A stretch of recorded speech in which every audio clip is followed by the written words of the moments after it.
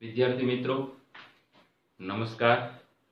Oxford school of science, Amreli. દ્વારા જે કાંઈ ઓનલાઈન એજ્યુકેશન આપવામાં આવે છે, એમની અંદર તમારા બધાનું હાર્દિક સ્વાગત છે. આપણે પ્રકરણ નંબર એક ની વાત કરી રહ્યા છીએ. પ્રકરણ નંબર એક છે એમની અંદર, સજીવોની અંદર કેવા પ્રકારના લક્ષણો જોવા મળે છે? મતલબ કે સજીવ હોય તો એમના કયા કયા લક્ષણો બહુ સ્પષ્ટ રીતે દેખાતા હોય છે?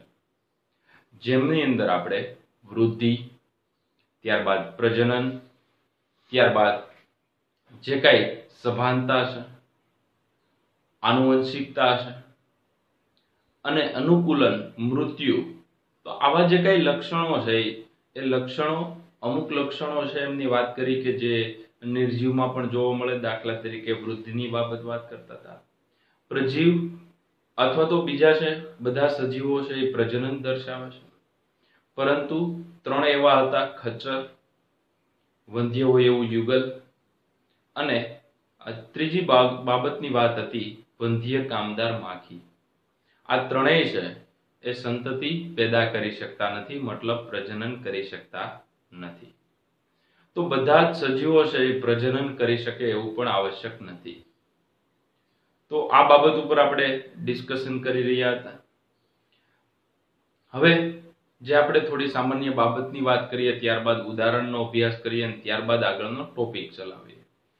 હવે, અહીંયા જે વૈદિક સાહિત્યની વાત છે, તો આ જે વૈદિક સાહિત્ય છે, એ એમની અંદર સાતસો ને ચાલીસ જેટલી વનસ્પતિ અને બસો ને પચાસ જેટલા પ્રાણીઓ છે, એમનો ઉલ્લેખ કરવામાં આવેલો છે.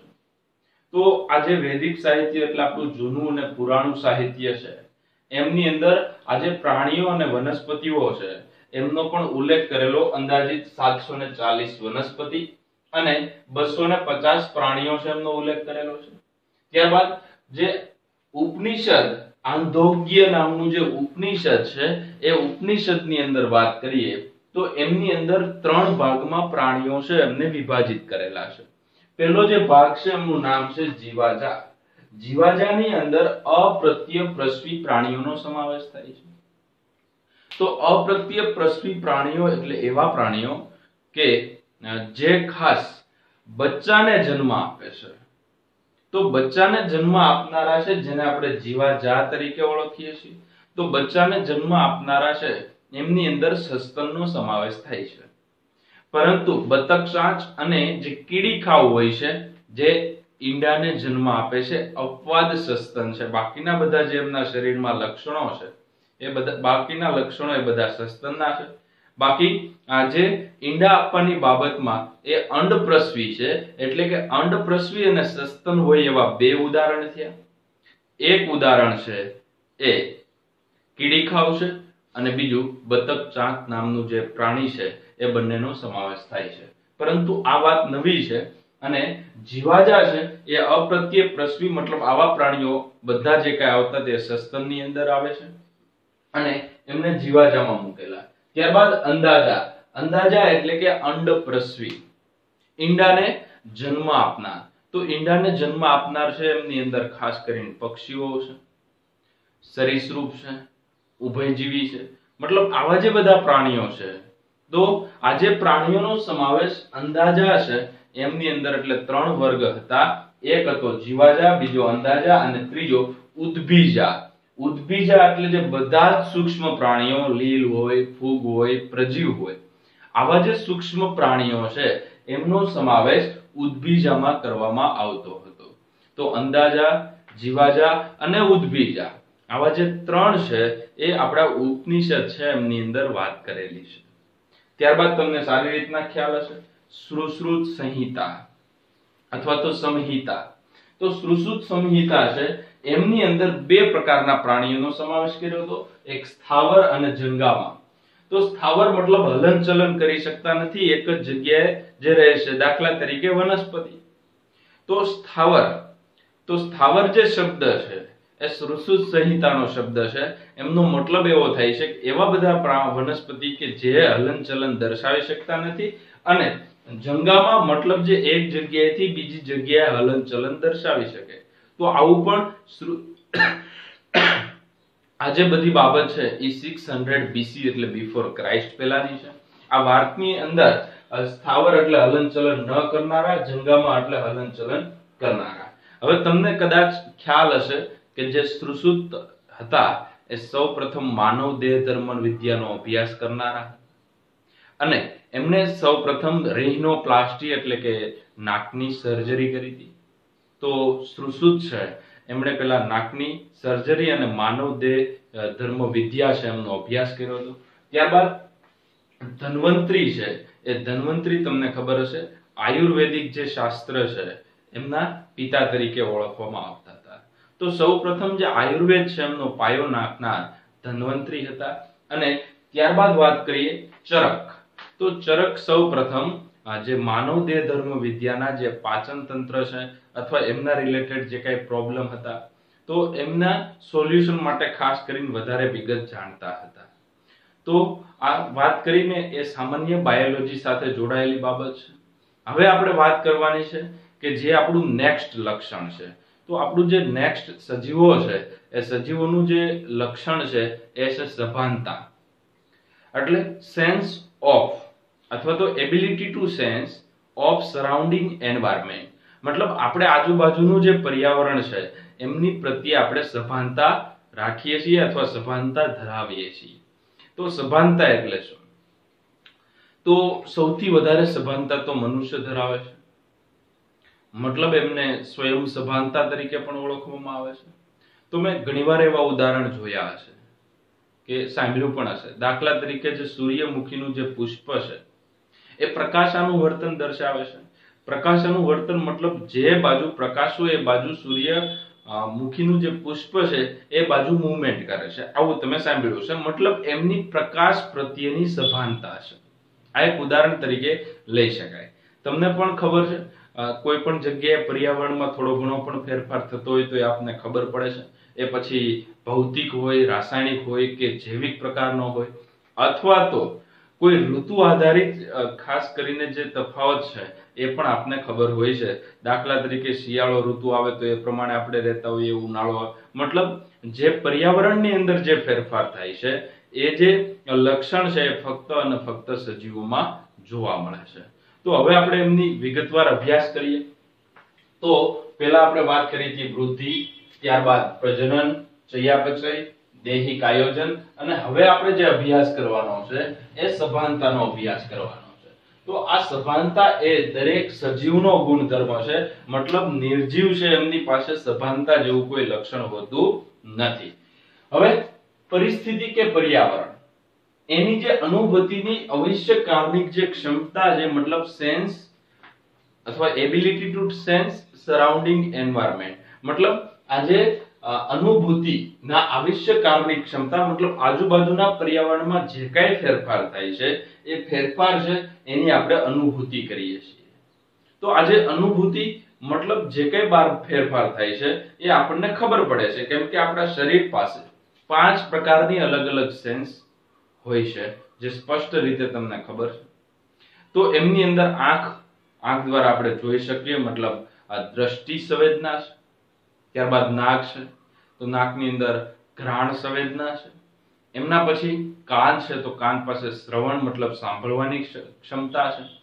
જીભ છે, તો એમની પાસે સ્વાદ સંવેદના છે.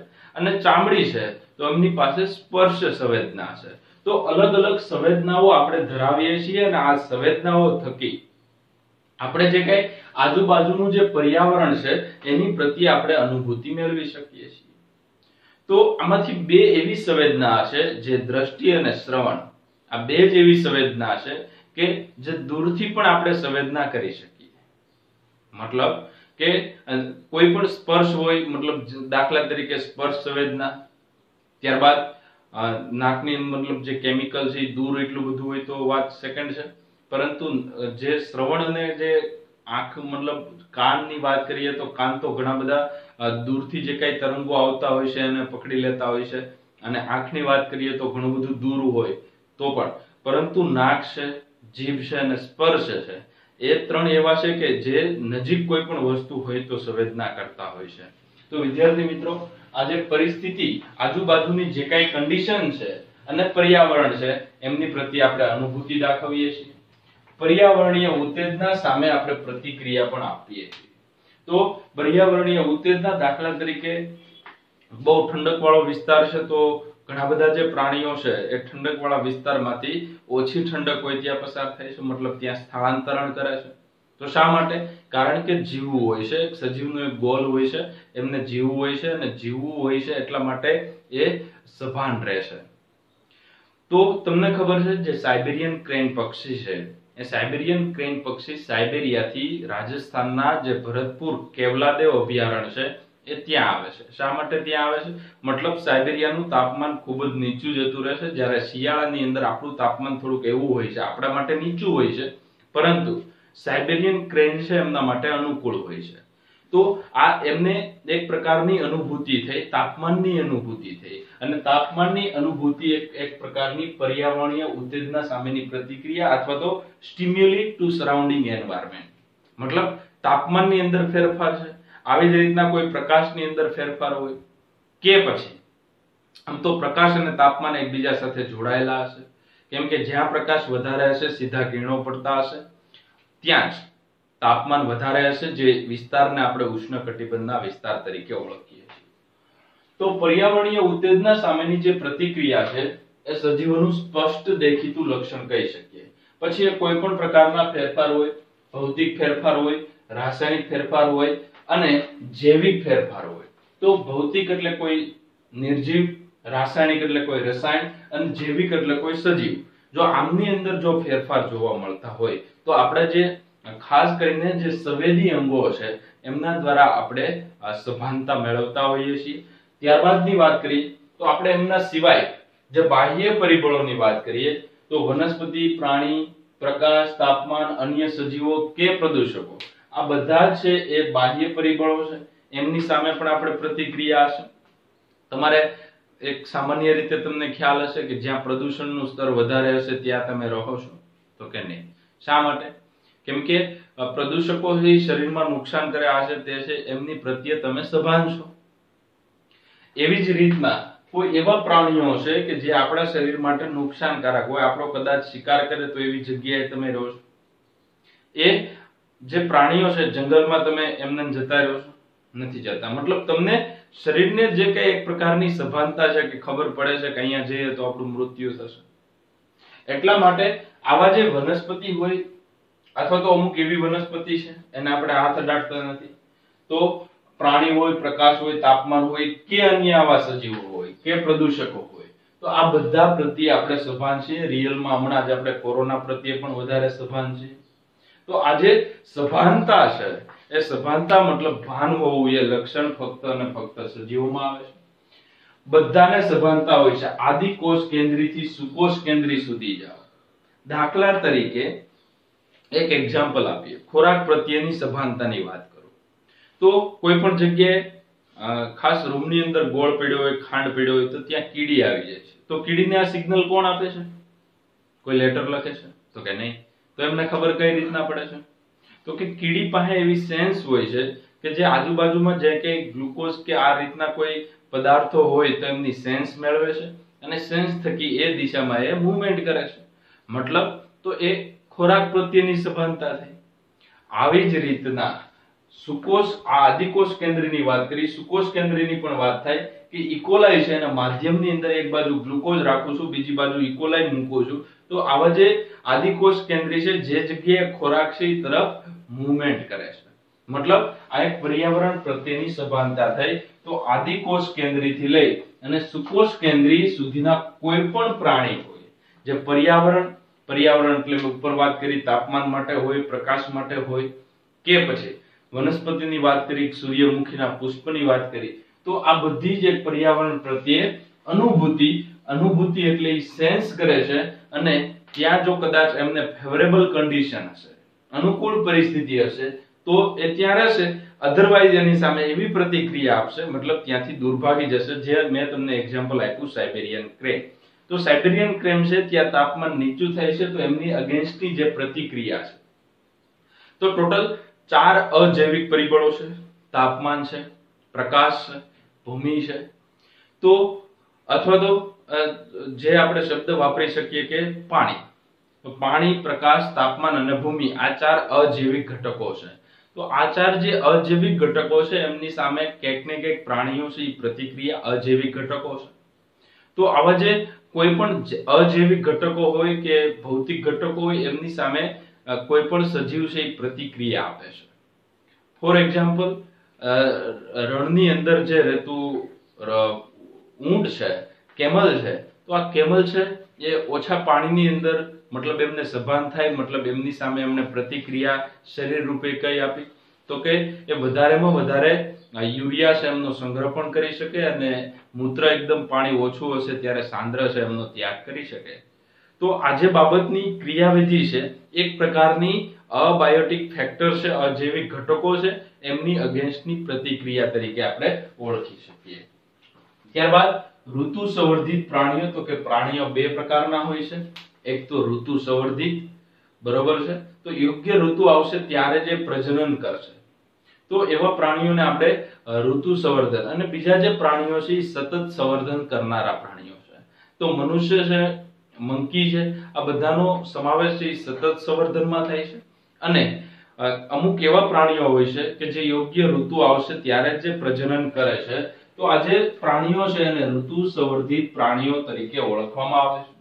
આવી જ રીતના ઋતુ સંવર્ધિત વનસ્પતિ હોય. તો અમુક વનસ્પતિ છે અને તમે ઉનાળામાં નહીં વાવો. કપાસનું વાવેતર જે ચોમાસામાં અત્યારે હાલનો સમય છે એમાં કપાસનું વાવેતર થશે. તો કહેવાનો મતલબ છે કે આજે વનસ્પતિ છે હાલના સમયમાં થશે. શા માટે?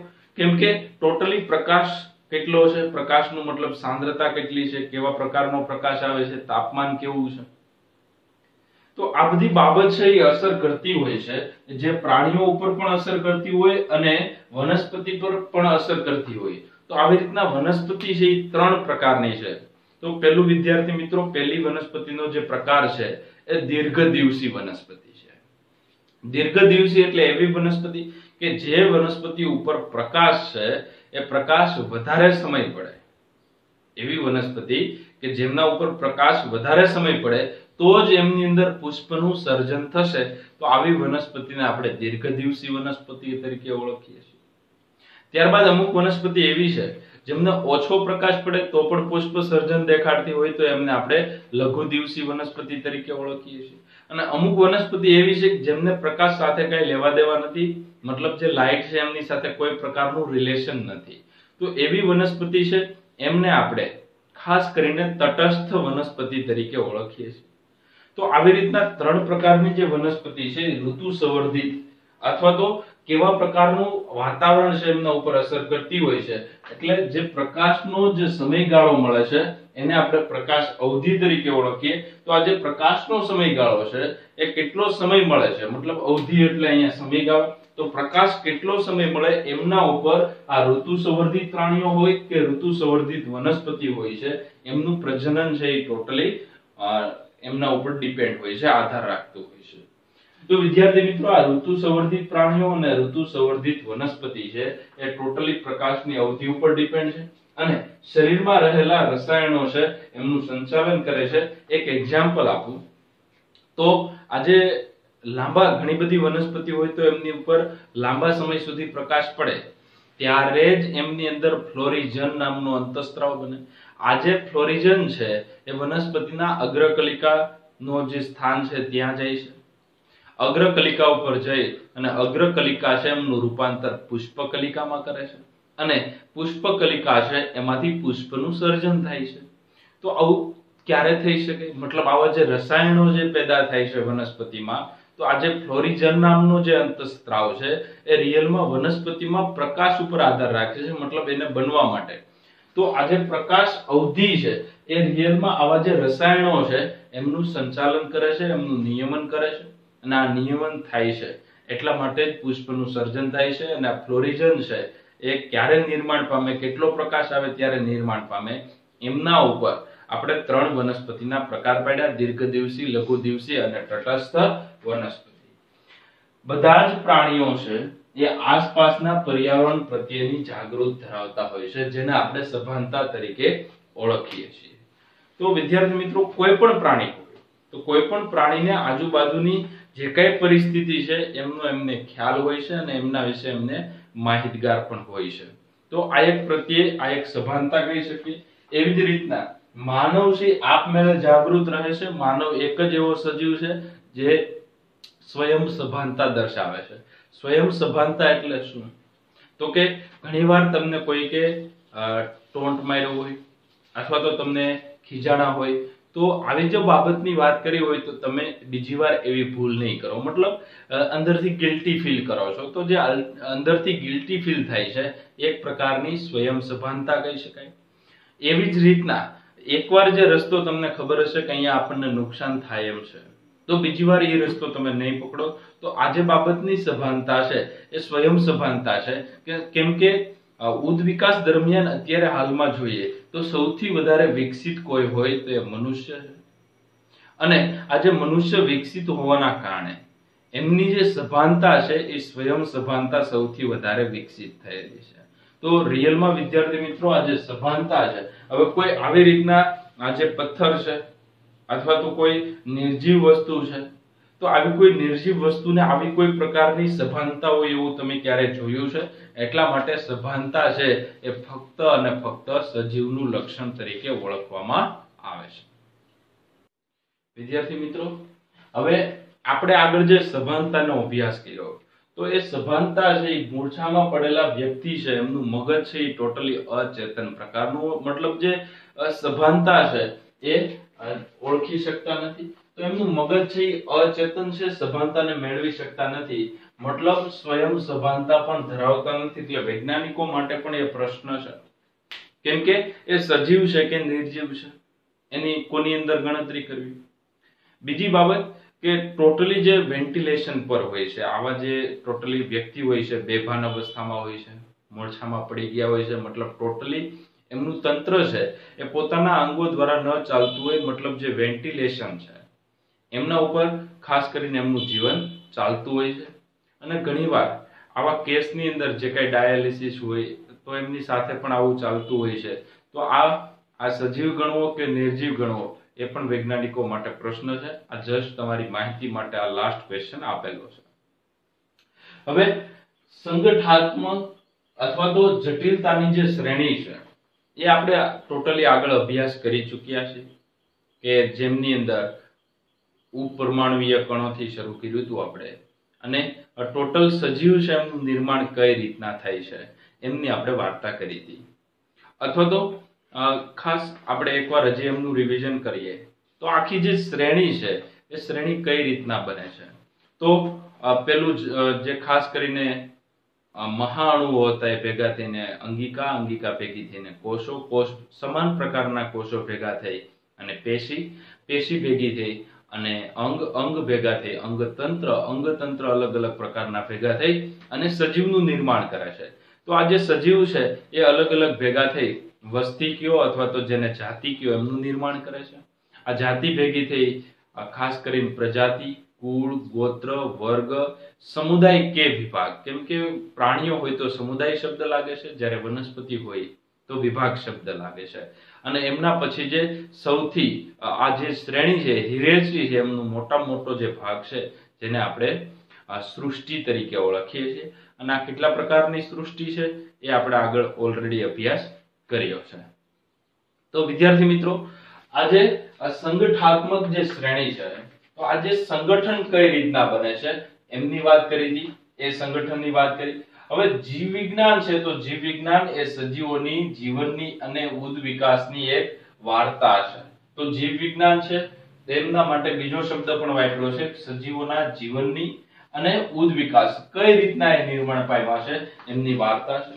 ત્યારબાદ, જનીન દ્રવ્યની વહેંચણી. મતલબ મારું જે જનીન દ્રવ્ય છે, તો તમને ખબર હશે, હવે કોષ, કોષની અંદર તમે જાઓ, તો કોષ કેન્દ્ર હશે. આ જે કોષ હોય, કોષની અંદર કોષ કેન્દ્ર હોય, કોષ કેન્દ્રની અંદર રંગ સૂત્ર હોય.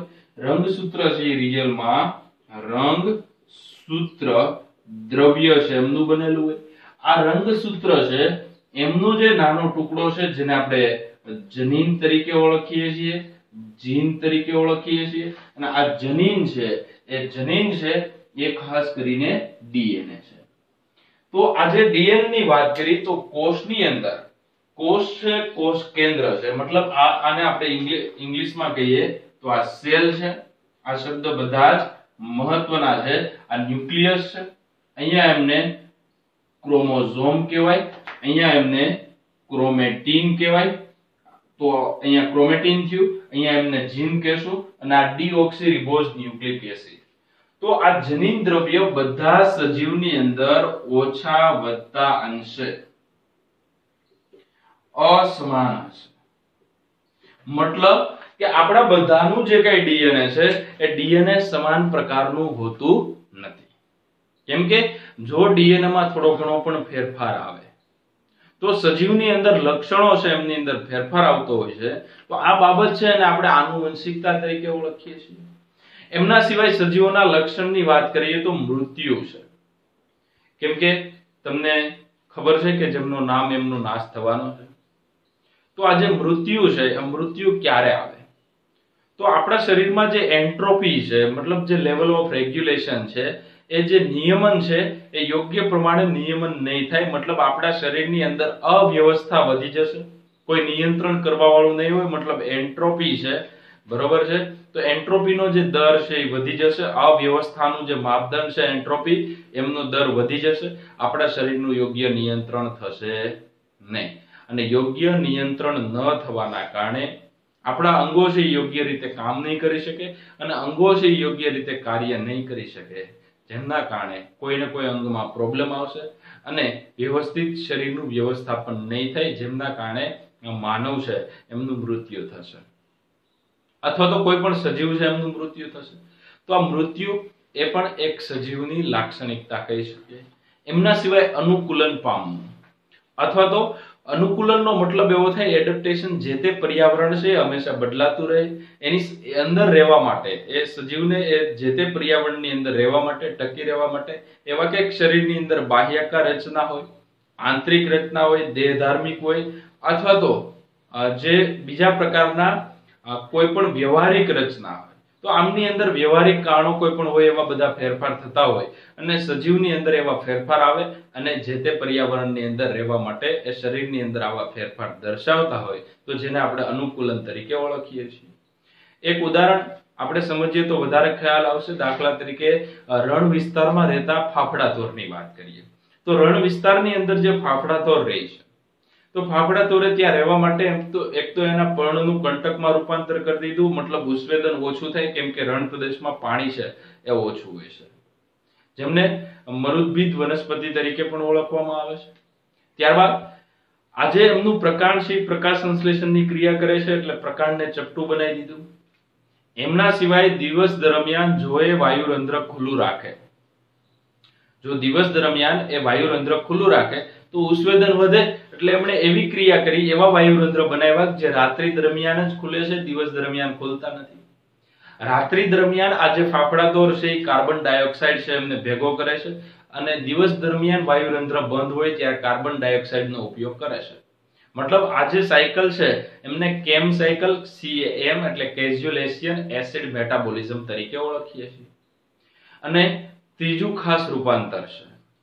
તો એમના વાયુરંધ્ર રાત્રિ દરમિયાન ખુલે એમ છતાં એમના વાયુરંધ્ર અંદર ખાડામાં ખૂપેલા હોય એવા છે, ગર્તમાં હોય એવા હોય તો આવા ઘણા બધા પ્રકારના અનુકૂલન કરવા પડે છે, તો જે તે સજીવ છે, જે તે પર્યાવરણની અંદર જીવી શકે છે. તો આ એક પ્રકારનું અનુકૂલન આપણે કહી શકીએ. તો ઘોડો છે, એમણે ખાસ કરીને સ્થળ માટે, ઉપર મતલબ જમીન માટે રહેવા માટે અનુકૂલન કરેલું છે. પક્ષીનું છે, એ ઉડવા માટેનું અનુકૂલન છે. અને માછલી છે તો એ ખાસ કરીને પાણીમાં રહી શકે એમના માટેનું અનુકૂલન છે. તો કોઈ પણ સજીવ હોય, એમને જે તે પરિસ્થિતિમાં રહેવા માટે અનુકૂલન સાધેલું હોય છે અને અનુકૂલન સાધેલું હોય છે, જે ઉદ્વિકાસની ક્રિયા દરમિયાન એમણે જે આવા કઈ અંગો છે, એમનું નિર્માણ કર્યું હોય છે અને જે જીવિત રહી શકતા હોય છે. તો વિદ્યાર્થી મિત્રો, આ જે બાબત છે, એ મહત્વની બાબત થઈ, અનુકૂલન. હવે એવી જ રીતના મેં વાત કરી આનુવંશિકતા છે, જે જનીન દ્રવ્ય છે. એ જનન દ્રવ્યની વહેંચણી માટે મતલબ જે ખાસ ડીએનએ છે, એ ડીએનએ આપણી બાબત કરીએ તો આપણું જે ડીએનએ છે, એ અંદાજિત નવ્વાણું પોઈન્ટ નવ ટકા જેટલું બધાનું ડીએનએ સમાન હોય છે. તમે એક વસ્તુ ઓબ્ઝર્વ કરજો, મતલબ જે આજુબાજુમાં જે કાંઈ મનુષ્ય નીકળે તો તમારામાં અને એનામાં જે કાંઈ આકાર છે, બાહ્યાકાર રચના છે એ જે કાંઈ ફેરફાર તમે જોવો છો, એ રિયલમાં પોઈન્ટ એક ટકાનો ફેરફાર છે. મતલબ બહુ ઓછો ફેરફાર છે ડીએનએમાં. પરંતુ વાસ્તવિક રીતે જોવા જાવ, તો શરીરની અંદર ઘણો બધો ફેરફાર દર્શાવતા હોય છે. આપણા અને મંકીની વાત કરીએ તો અંદાજિત બે ટકા ડીએનએ નો ફેરફાર છે. અઠ્ઠાણું ટકા ડીએનએ સમાન છે, આપણા નજીકના છે પ્રાઇમેટની અંદર આવે છે. તો આજે ડીએનએ છે એ ડીએનએ ની અંદર જો થોડો ઘણો પણ ફેરફાર હોય, તો એ ફેરફાર છે એ રિયલમાં કોષની અંદર બનતા પ્રોટીન છે, એમની અંદર પણ ફેરફાર આવતો હોય છે. તો જનીન દ્રવ્યની જે વહેંચણી છે, એ બધા સજીવોમાં અલગ પ્રકારની હોય છે. અને ખાસ કરીને જે લિંગી પ્રજનનની ક્રિયા થાય છે, એ લિંગી પ્રજનનમાં જે જનીન દ્રવ્યની વહેંચણી છે, એ બદલાય છે. એટલા માટે જે માતા પિતા કરતા જે બાળક છે, એ સો ટકા ડુપ્લિકેટ કોપી હોય નહીં. ક્લોન ન કહી શકાય. કારણ કે એમની અંદર જનીનિક ભિન્નતા દર્શાવે છે. એમના સિવાય આગળ વાત કરીએ તો સજીવ વિશ્વની અંદર વિવિધતા. તો આખી દુનિયાની અંદર જે સજીવોમાં જે અલગપણું જોવા મળે છે. તો રિયલમાં તમે ઘરની બહાર નીકળો તો તમને અસંખ્ય પ્રમાણમાં પ્રાણીઓ જોવા મળે છે.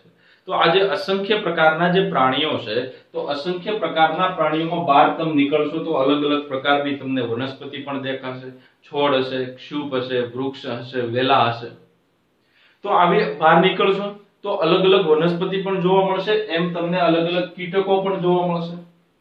ત્યારબાદ અલગ અલગ પ્રકારના પક્ષીઓ જોવા મળશે, પાલતુ પ્રાણી જોવા મળશે, અન્ય પ્રાણી જોવા મળશે. પરંતુ આ બધામાં જે અલગપણું જોવા મળે છે, જેને આપણે વિવિધતા તરીકે ઓળખીએ છીએ.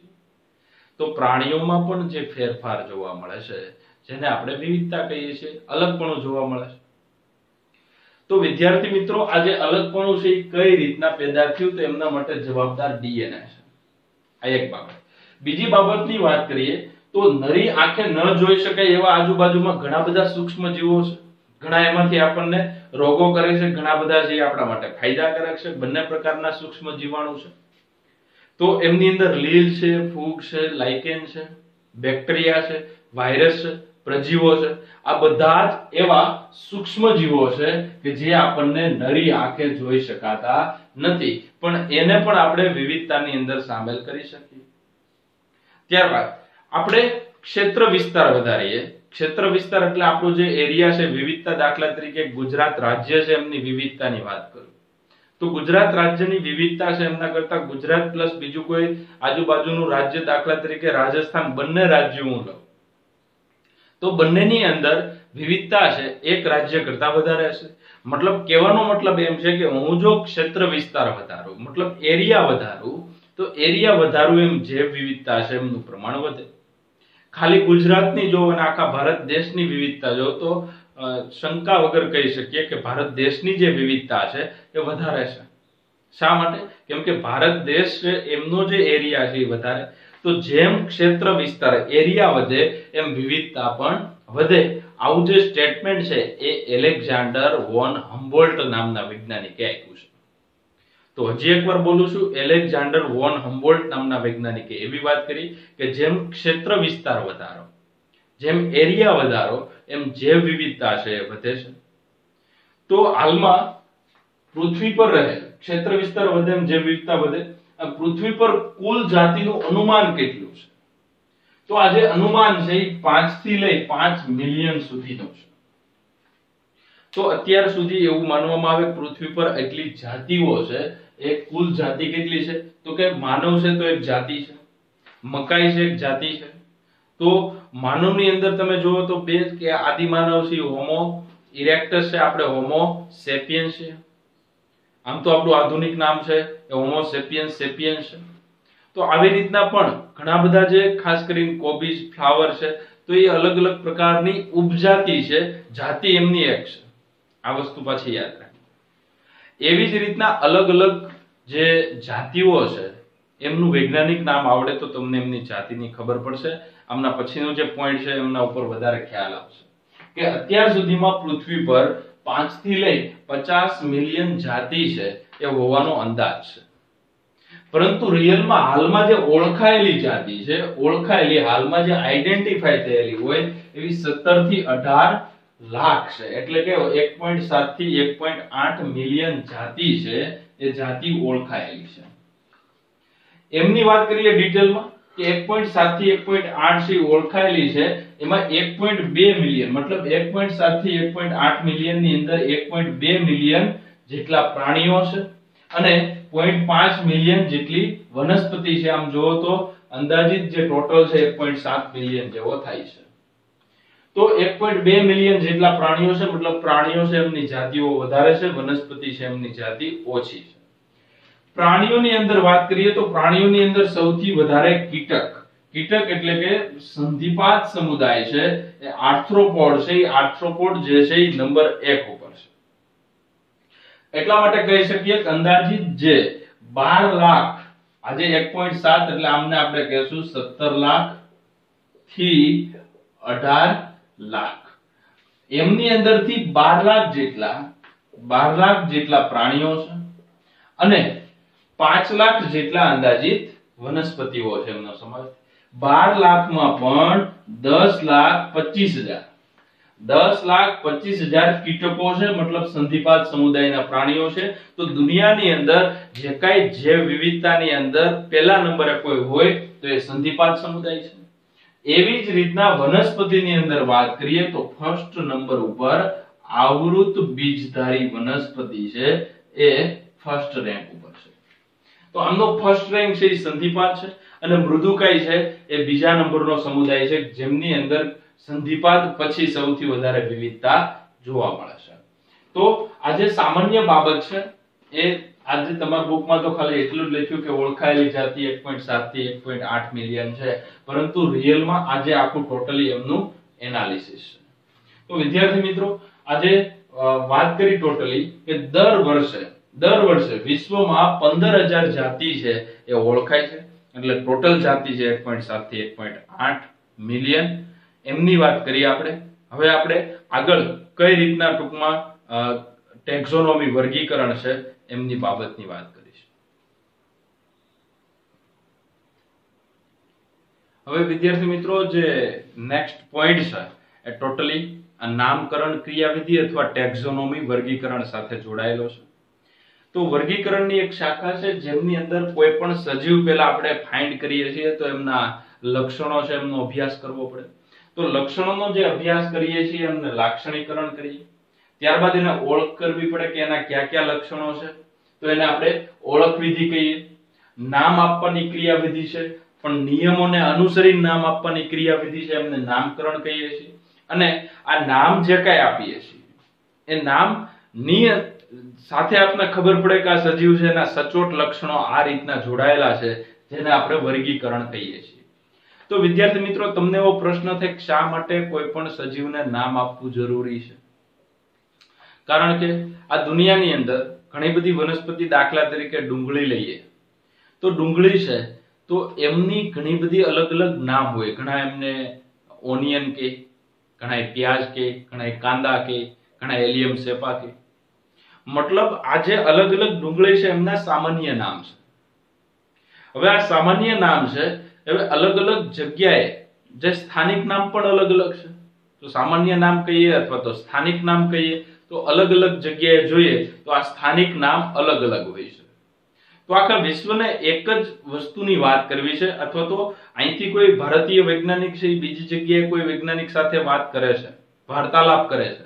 તો આ વાર્તાલાપ છે રિયલમાં જો એક નામ હોય, તો જે તે સજીવની વાત કરે છે, એમનો સામાન્ય ખ્યાલ આવી શકે. આ બાબત છે. તો આ બાબતથી કોઈ પણ સજીવને જે એક યુનિવર્સલ નેમ, વિશ્વની અંદર એવું એક જ નામ હોય જેને આપણે યુનિવર્સલ નેમ કહીએ છીએ, એમના આધારે નામકરણના આધારે એમને વ્યવસ્થિત રીતે એમનું વર્ગીકરણ કરી શકીએ. શા માટે કોઈ પણ સજીવ છે એમનું વર્ગીકરણ કરવામાં આવે? તો ઉદ વિકાસમાં કઈ રીતના નિર્માણ પામેલા છે જે તે સમુદાય કે વિભાગની અંદર કેટલી વિવિધતા છે એમનો કઈ રીતના આર્થિક ઉપયોગી છે? તો આ બધી જ બાબતોનો ખ્યાલ આપણને વર્ગીકરણના આધારે મળી શકતો હોય છે. તો વિદ્યાર્થી મિત્રો અલગ અલગ બ્રાન્ચ છે, જેમના દ્વારા અલગ અલગ સજીવોના નામ આપવાનું કામ થતું હોય છે. તો ઓગણીસો ને અંદર ICBN international code for botanical nomenclature મતલબ આઈ મતલબ ઇન્ટરનેશનલ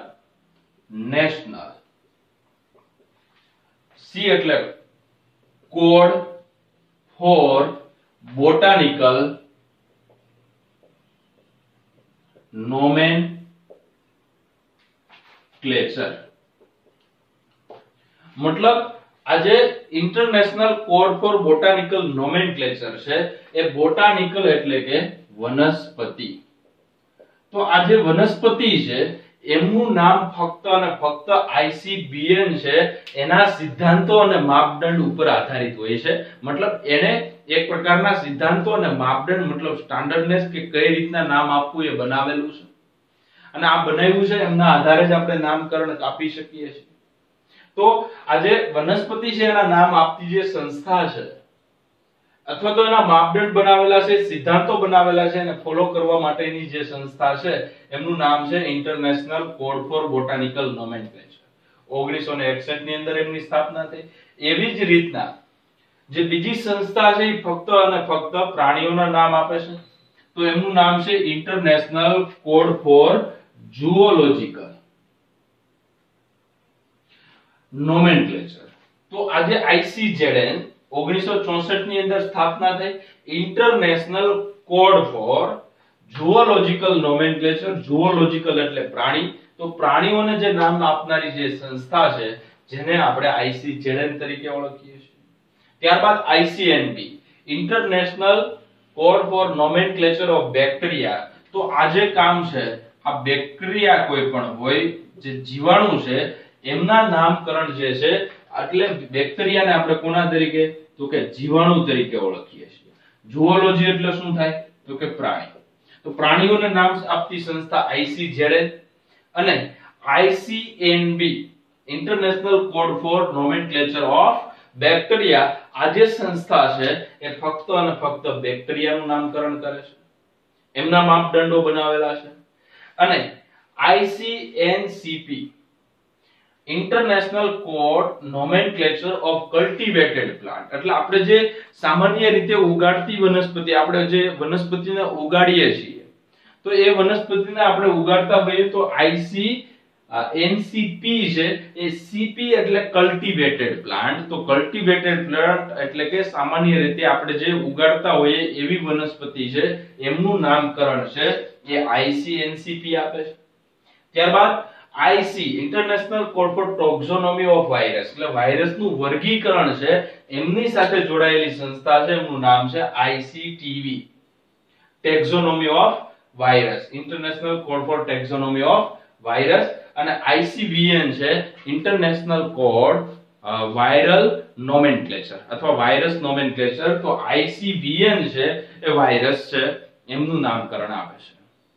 તો વિદ્યાર્થી મિત્રો ટોટલ જે સંસ્થા તમે જુઓ, તો એ સંસ્થા કેટલી છે? તો કે ટોટલ ચાર સંસ્થા છે. એક પ્રાણીઓના નામ સાથે જોડાયેલી છે, એક વનસ્પતિના નામ સાથે, એક કલ્ટિવેટેડ પ્લાન્ટ છે એમની સાથે, એક બેક્ટેરિયા અને વાયરસ સાથે ટોટલ આવી સંસ્થા જોઈએ તો પાંચ સંસ્થા છે. આમાંની એક સંસ્થા છે આઈસીટીવી છે. એ વાયરસ છે વાયરસના ટેક્ઝોનોમી સાથે વર્ગીકરણ સાથે જોડાયેલી છે. તો કોઈ પણ જે નામ છે એ નામ આપણે કઈ રીતે આપતા હોઈએ? તો કેરોલસ લિનિયસ નામનો જે વર્ગી જે વૈજ્ઞાનિક છે, રિયલમાં કે વોન લિન નામ છે એમનું. તો લિન નામના વૈજ્ઞાનિકે ત્યારબાદ એ કેરોલસ લિનિયસ તરીકે ઓળખાય છે. તો આ જે વૈજ્ઞાનિક છે, એમણે દ્વિનામકરણ પદ્ધતિ આપી. દ્વિનામકરણ એટલે બે નામ આપવાની પદ્ધતિ.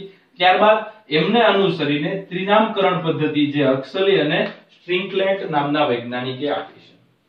તો વિદ્યાર્થી મિત્રો, આજે કોઈ પણ સજીવ હોય એનો આખા વિશ્વની અંદર એક જ નામ રહે, એ હેતુથી નામકરણ યોગ્ય નિયમનો નિયમોને અનુસરીને નામ આપવાની જે ક્રિયાવિધિ છે, એમને આપણે નામાધિકરણ તરીકે નોમેનક્લેચર તરીકે ઓળખીએ છીએ.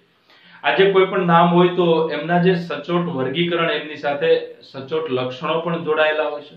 એમને આધારે યોગ્ય રીતે નિયમોને અનુસરીને ગોઠવવાની જે ક્રિયાવિધિ છે, એમને આપણે વર્ગીકરણ તરીકે ઓળખીએ છીએ.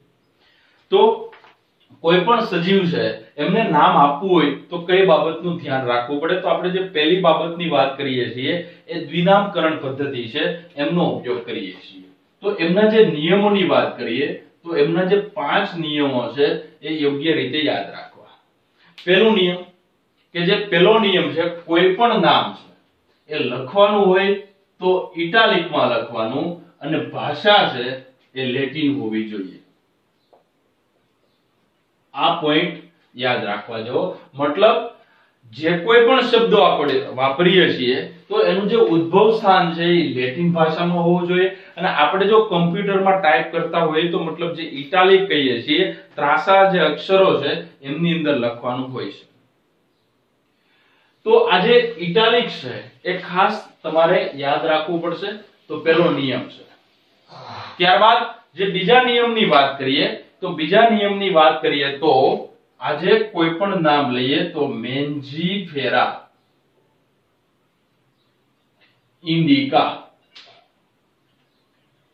તો આ કોઈ પણ નામ હોય, આમના ઉપરથી બે નિયમ તમને યાદ રહેશે. તો આજે પહેલું નામ, આ કોઈ વૈજ્ઞાનિક નામ છે. તો આજે પહેલું વૈજ્ઞાનિક નામ છે એ મેન્જીફેરા ઇન્ડિકાનો આપણે અભ્યાસ કરીએ. તો આજે પહેલું નામ છે એ પ્રજાતિનું હોય છે અને બીજું નામ હોય છે જાતિનું હોય છે.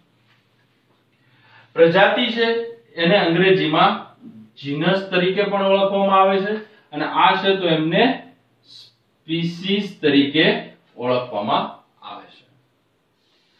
હવે, જે કઈ વાત કરી કે મેન્જીફેરા છે એનું પહેલું નામ છે, મતલબ પ્રજાતિનું છે. બીજું નામ છે એ જાતિનું છે. આ બે નામ આપીએ છીએ એટલે આ પદ્ધતિ છે અને બાયનોમિયલ નોમેનક્લેચર અથવા તો દ્વિનામકરણ પદ્ધતિથી આપણે ઓળખીએ છીએ. ત્યારબાદ આ જે પ્રજાતિ છે, એમના માટે આપણે બીજો શબ્દ જે વંશગત નામ તરીકે પણ ઓળખીએ છીએ. આ જે નામ છે મેન્જીફેરા છે તો એ મેન્જીફેરા છે. એને આપણે જે આગળનો પોઈન્ટ છે એમને વંશગત નામ તરીકે પણ ઓળખીએ છીએ. એટલા માટે એમને જેનેરિક નેમ અને આ જે બીજું નામ છે, આ પ્રજાતિ સિવાયનું, એને જાતિ પ્રત્યે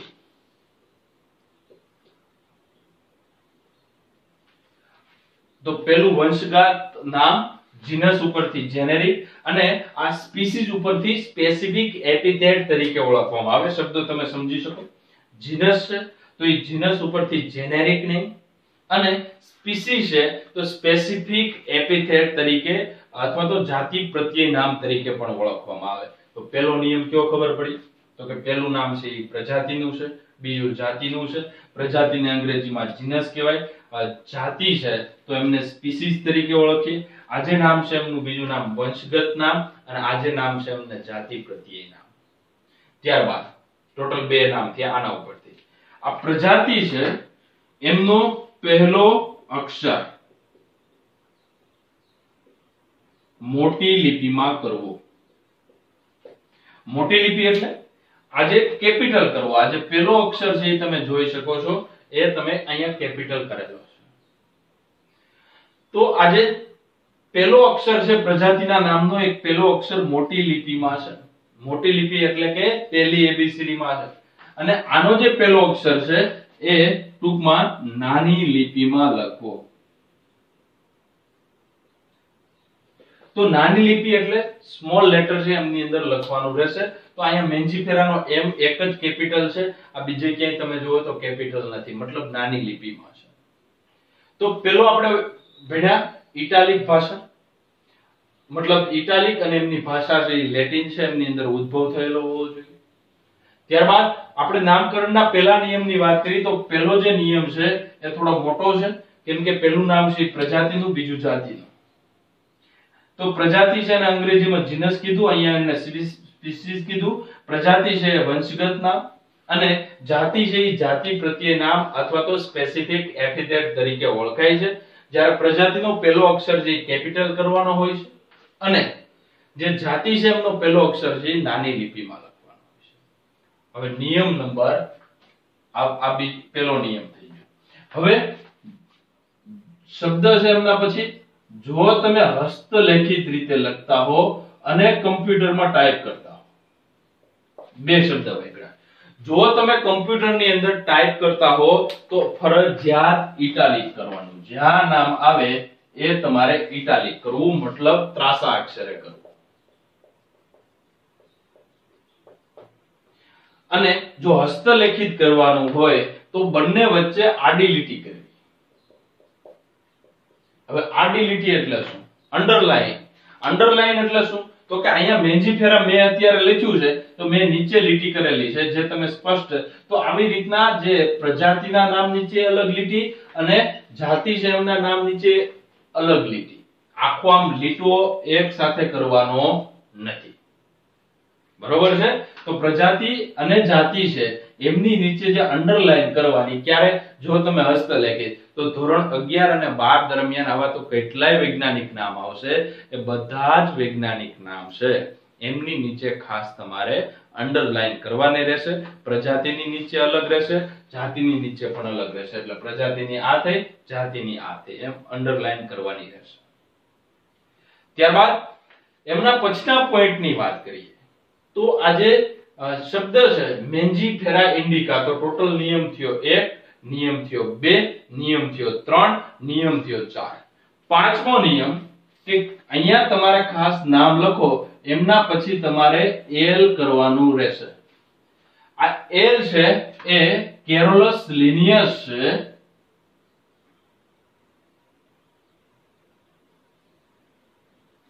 તો આ કેરોલસ લિનિયસ નામના વર્ગી વૈજ્ઞાનિકે વર્ગીકરણ અથવા નામકરણની ક્રિયાવિધિ આપી છે. તો એમના માનમાં તમારે લાસ્ટમાં એલ કરવાનો રહેશે. એલ નો મતલબ થાય એલ આઈ ડબલ એન. આવી રીતના ટપકું મૂકવાનું આનું કારણ શું?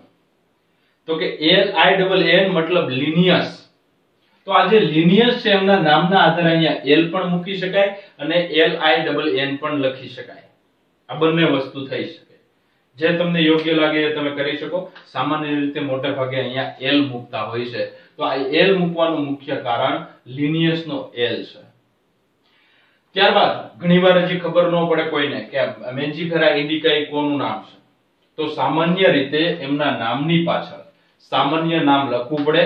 તો સામાન્ય ભાષામાં ખબર પડે મેન્જીફેરા ઇન્ડિકા એટલે મેંગો. મેંગો એટલે કે જે આંબો છે, કેરી છે, એમનું જે વૈજ્ઞાનિક નામ છે મેન્જીફેરા ઇન્ડિકા છે, તો આવી રીતના કોઈ પણ નામ હોય, એમની આ સિસ્ટમ ફોલો કરવી પડે. તો નિયમ પાછા એકવાર બોલું છું કે પેલું છે એ ઇટાલિક લખવું પડે અને ભાષા છે તો એ લેટિન હોવી જોઈએ. બીજું, પહેલું નામ છે પ્રજાતિનું હોવું જોઈએ, બીજું નામ છે જાતિનું હોવું જોઈએ. ત્રીજું છે, પ્રજાતિનો પહેલો અક્ષર છે કેપિટલ હોવો જોઈએ અને જાતિનો પહેલો અક્ષર છે નાની લિપિમાં લખવાનો. જો તમે કમ્પ્યુટરમાં ટાઈપ કરતા હો તો ઇટાલિક કરવા ફરજિયાત છે? અને જો તમે હસ્તલેખિત હાથથી લખતા હો, તો એમની નીચે આડી લીટી કરવી ફરજિયાત છે. હું ટૂંકમાં અંડરલાઈન પણ બંને વચ્ચે અલગ અલગ. ત્યારબાદ વૈજ્ઞાનિકના માનમાં તમારે એલ કરવાનો છે, એમની બ્રેકેટમાં તમારે સામાન્ય નામ લખવાનું છે. આવા તો ઘણા બધા વૈજ્ઞાનિક નામ છે, જે આપણે અભ્યાસ કરવાનો રહેશે. દાખલા તરીકે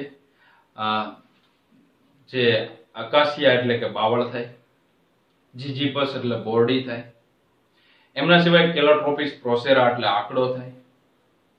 તો આવા જીયામેઇસ રાના ટાઇગ્રીના છે, પેરીપ્લાનેટ અમેરિકાના છે, ફેરીથીમાં પોસ્તુમા છે, હોમો સેપિયન્સ છે. તો આવા તો અઢળક નામ છે, એ આપણે બાયોલોજીમાં ભણવાના હોય છે, પરંતુ જ્યારે પણ લખવાના થાય, જ્યારે પણ લખવાના થાય ત્યારે આ નિયમોનું ચોક્કસપણે પાલન કરવું પડે. એ ધોરણ અગિયાર હોય કે ધોરણ બાર હોય, બંને માટે આ વસ્તુ લાગુ પડે છે.